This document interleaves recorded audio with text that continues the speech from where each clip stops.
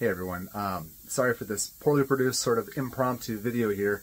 I just wanted to make a video because it was uh, talking about an issue I had with my printer um, and having some issue with prints, in particular with the OnX Tough resin. Now, honestly, as I'm going to explain, it has nothing to do with the resin. It has to do with me. Um, and I'm heading out for the rest of the you know for the rest of the weekend, and I didn't want to leave this undone, and I didn't want someone to have to stay late to video this. So here we go. Anyway, it's about updating your software, updating your firmware. Don't be like me. Make sure you do it. Now, that may sound like, wow, how does this guy not know how to update his uh, printer, his software? It's not that I don't know how. I made a mistake and forgot that the updating process is a little bit different with SprintRay products.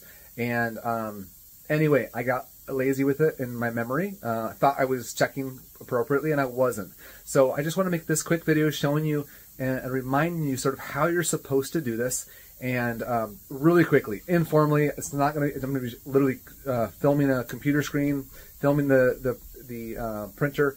I just want to, yeah, I want to save you guys some trouble in case you're having issues and you're and you don't know how to update. You think you do, and you might be thinking all along, like me, that you're up to date when you aren't.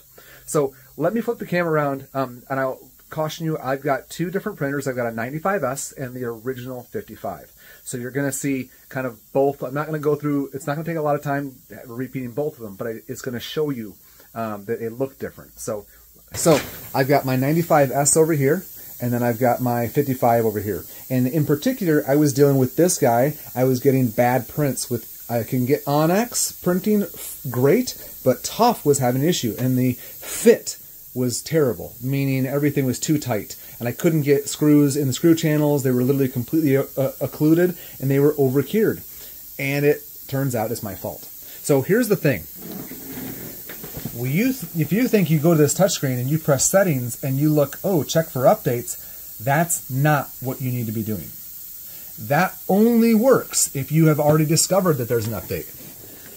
To do it, what you need to do is you need to go into your software, uh, in your Rayware, the desktop software, come up to um, uh, print, go to manage printers, and you're to see a window that looks like this. Okay? So you're going to have the ability to check for updates here. And all, I've just completed a print here, but the same thing.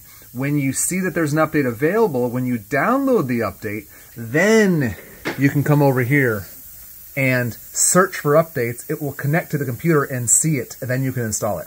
This isn't searching the web, this is searching your desktop software that the printer is linked to. Now, on the, the S units, you can actually push the update from the desktop software.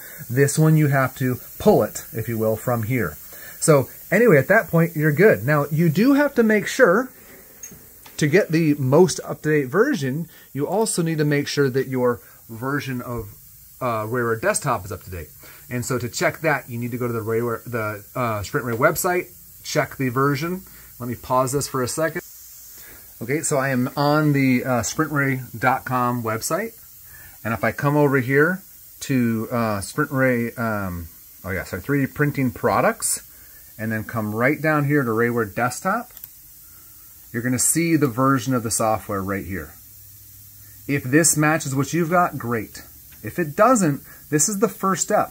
Make sure this is up to date. Then when you open up Rayware, you're going to be able to make sure that you have the most up-to-date firmware running to your printer.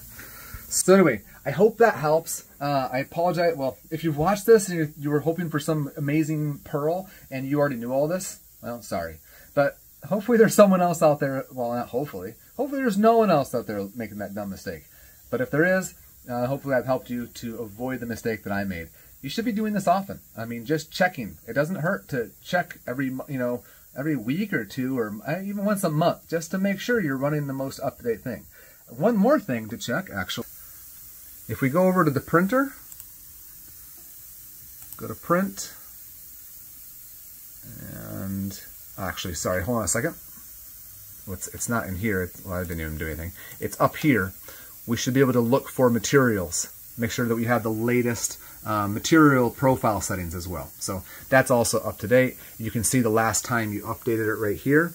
So every once in a while you should check, hey, it's been a week or two. Let's go ahead and just search to see if there's been any updates. And that way, if they, if the um, developer, developers have found that, hey, you know what, we actually need to print things a little differently, that's how it's going to get fixed. So that's an, one more thing you need to update. Now that's most critical for using the desktop software if you're still using it um, the desktop, uh, the cloud version of the software should, uh, my assumption, um, be handling that itself. So if you're usually only using the cloud, the dashboard, then that, that part really doesn't matter. But if you are using the desktop version at all, then you need to make sure you're keeping your profiles up to date. So that's one of the, the advantages of the cloud is that it's updating all that for you. Uh, you never have to think about that. But you do have to still make sure your hardware is up to date. Um, at some point, it sure would be nice if that was triggerable from the dashboard or just automatically pushed, but for now. All right, guys, hopefully that helps. Thanks so much for watching. Make sure to, if, you know, I try to keep videos coming every once in a while. I'm not, you know, I'm not putting out videos every day, but uh, check out my YouTube channel if you want other videos, tips and tricks, and uh, whatnot. Software mostly, but uh, also some of these kind of printer tips. So, all right, bye for now.